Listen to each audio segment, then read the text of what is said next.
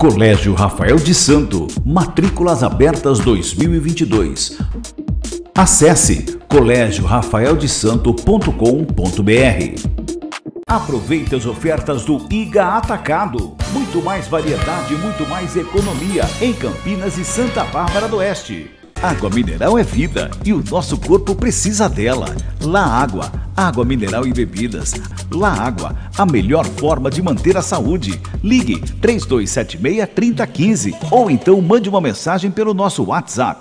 O volante Rodrigo Andrade falou nesta terça-feira sobre o futuro dele em relação ao Guarani. Ele estava interagindo com os seguidores em uma rede social e, nesse bate-papo, surgiu uma pergunta: vai renovar? A resposta de Rodrigo Andrade, abre aspas, seria uma honra, mas ainda não sei, fecha aspas. O contrato de Rodrigo Andrade com o Bugre terminou no último dia 30 de novembro.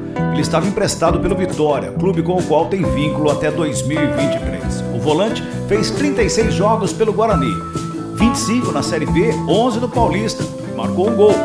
Já o Guarani está pensando em investir na base na próxima temporada e tem material para isso. Pelo menos os nomes estão se destacando. Jogadores que já atuaram nessa temporada e que podem ser destaque no ano que vem são Matheus Souza e Renanzinho, além de Alain, que foi um dos artilheiros no sub-20 do Bugre.